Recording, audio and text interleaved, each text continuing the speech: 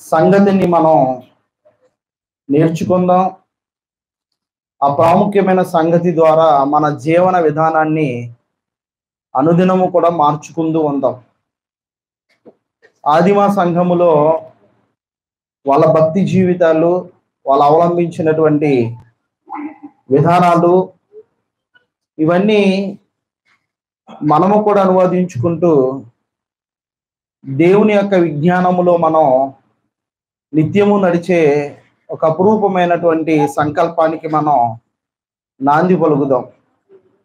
ప్రియులరా ఒకనొక రోజు దేవుని కోసం రోషంగా బతుకుతున్నటువంటి సేవకులలో దేవుని కోసం యథార్థంగా బతుకుతున్నటువంటి సేవకులలో మనకు ఏలియా గారు కనబడతారు ఏలియా గారు అనేసరికి రోషమైనటువంటి సేవకుడుగా మనం చూడొచ్చు. ఆ రోషం కలిగినటువంటి సేవకుడు ప్రజల యొక్క పరిస్థితులు చూశాడు. ఎవరు వాక్యానికి లోబడకపోవడం ఎవరు దేవునికి విధేయులై ఉండకపోవడం సమస్త సృష్టిని అనుగ్రహించిన దేవునికి విరోధంగా వాళ్ళు ప్రవర్తిస్తున్నప్పుడు మూడున్నర సంవత్సరాల పాటు వర్షం కురవకూడదు. వీళ్ళకి తిండి బత్యం అనేది ఉండకూడదు. ఏ తిండి పెట్టి పోషిస్తున్నాడో ఏ చల్లగాలిని ఇస్తూ మనల్ని ఆహ్లాదపరుస్తున్నాడో ఏ సృష్టి ద్వారా మనల్ని అందరినీ కూడా కాపాడుకుంటూ వస్తున్నాడో ఆ దేవుని కనీసం స్మరణకు తెచ్చుకోలేనటువంటి స్థితిలో ఈరోజు ప్రజానికం ఉందని భయము కానీ భక్తి కానీ లేనటువంటి జీవితాలు జీవిస్తున్నారని ఏలియా గారు ప్రకృతిని శాసించాడు. ప్రకృతిని శాసించి భూమి మీద వర్షం కురవకూడదు అని ఆయన ప్రార్థన చేసిన వెంటనే మూడున్నర సంవత్సరాలు వర్షం కురవల. అలాంటి సిచ్యువేషన్లో ఈ కరువుకి కారణం ఏలి అని ఆహాబు ఆహాబు భార్య అని యజబేలు గ్రహించి ఏలియాను చంపడానికి ప్రయత్నం చేస్తున్న సమయంలో ఏలియా పారిపోయి ఒక బందిరి వృక్షం కింద తలదాచుకుంటాడు ఇలా తలదాచుకున్న ప- తదుపరి జరిగినటువంటి ఒక యథార్థమైన సంఘటన మనం చూద్దాం. మొదటి రాజుల గ్రంథం పంతొమ్మిదో అధ్యాయము ఐదు నుంచి ఎనిమిది వరకు ఉంటుంది. ఎనిమిదో వచ్చిన మనకు ఇంపార్టెంట్ మన పాఠానికి ఎనిమిదో వచ్చిన చాలా ఇంపార్టెంట్ మొదటి రాజుల గ్రంథం పంతొమ్మిదవ అధ్యాయము ఐదవ ఆ వచ్చిన నుంచి ఎనిమిదవ వచ్చిన ఎనిమిదవ వచ్చిన చూద్దాం. అతడు లేచి భోజనము చేసి ఆ భోజనపు బలము చేత నలువది రాత్రులు నలువది పగలు ప్రయాణము చేసి దేవుని పర్వతమైన పేరు పెట్టబడిన హేరో హోరోగునకు వచ్చి అచ్చట మందిర ఆ బందిరి గృహములో బస ఆ బస చేశాను. చూడండి జాగ్రత్తగా రండి జాగ్రత్తగా రండి.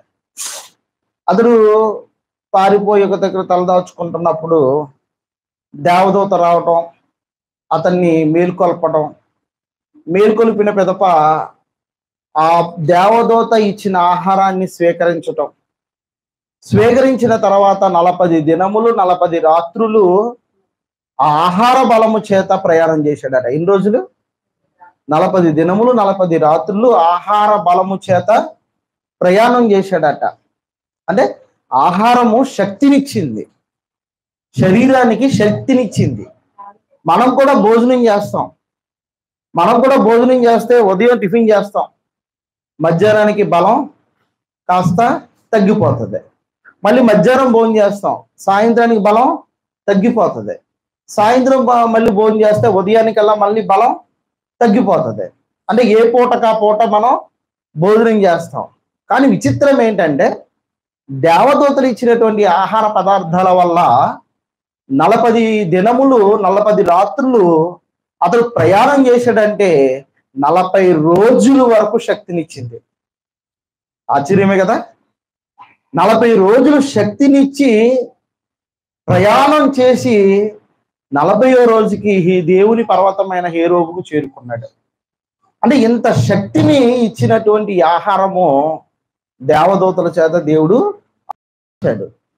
శరీరానికి ఇంత శక్తినిచ్చి ఏలియాని నిలబెట్టినటువంటి ఆ దేవాతి దేవుడే పూర్వం ఆ రోజుల్లో ఇజ్రాయేలీల ప్రజలకు కూడా మన్నాను కురిపించాడు.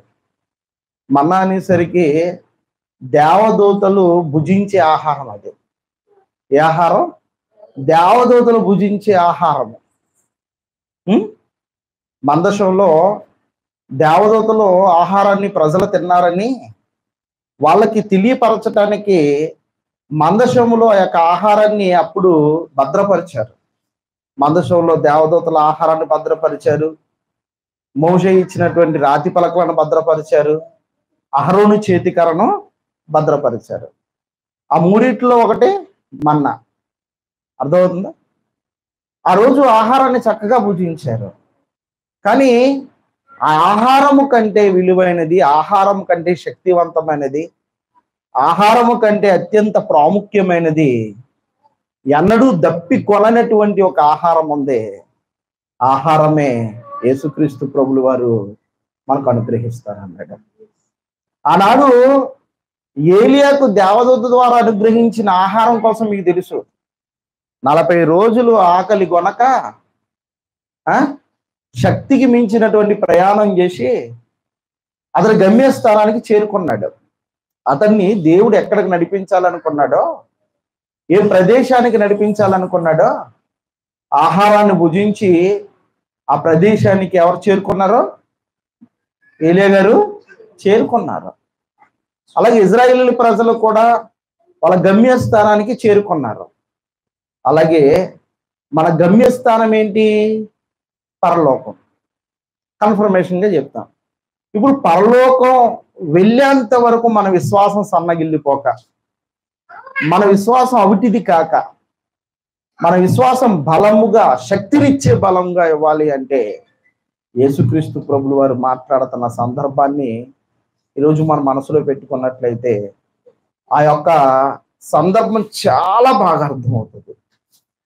చూడండి యోహాను సువార్త ఆరో అధ్యాయము యోహాను గారు రాసిన సువార్త తీశారా?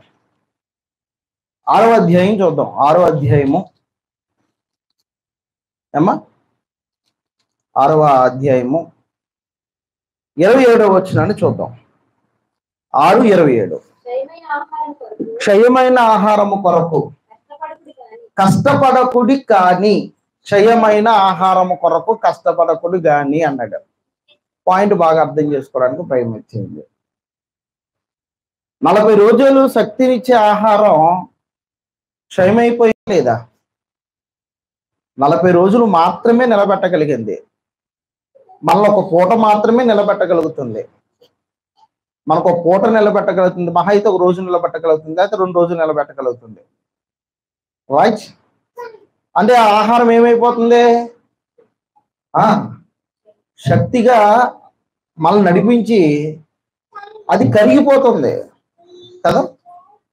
కరిగిపోతుంది. మన గుమ్మ మన మన ఎదురుగుండా ప్లేట్ నిండా ఆహారం పెట్టుకుంటాం. గంటకు మాయమైపోతుంది.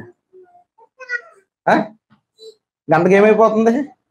మాయమైపోతుంది. ఇప్పుడు నేను సపోజ్ ప్లేట్ నిండా అన్నం పెట్టుకున్నాను. ఆ ప్లేట్ నిండా అన్నం పెట్టుకుని ఒక గట్టిగా ముద్ద కలుపుకొని ఎత్తి మీద పెట్టుకున్నాను అనుకున్న హైట్ కొలుసుకున్నాం అనుకో సపోజ్ ఉదాహరణకి. ఒక ముద్ద హైట్ పెరుగుతాను లేదా? అంటే నేను నా ముద్ద. ఏమవుద్ది? కొలత వేస్తే. ఏ పండు లాంటి వచ్చి టేప్ తీసుకొచ్చి కొలతేసాడు అనుకోండి. ఆ పైన ఏముంటది? నా నెత్తి మీద ముద్ద ఉంటది కనుక నా హైట్ ముద్దతో పాటు ఎంత అవుద్ది? ఇందులోకి వెళ్ళింది. ఏమైపోయింది? ఇందులోకి వెళ్ళింది. ఏమైపోయింది? ఆ? ఏమైపోయింది? ఆ హైటే ఉంటాను. కానీ క్షయమైపోతుంది. క్షయమైపోయే ఆహారం కొరకు కష్టపడకుడి అన్నాడు. కష్టపడకుడి అంటే యేసుక్రీస్తు ఏదో చెప్పబోతున్నాడు ఆయన ఏదో చెప్పబోతున్నాడు ఆయన. ఏం చెప్పబోతున్నాడు ఆయన? క్షయమైన ఆహారం కొరకు కష్టపడకూడని దేని చెప్పాలనుకుంటున్నాడు?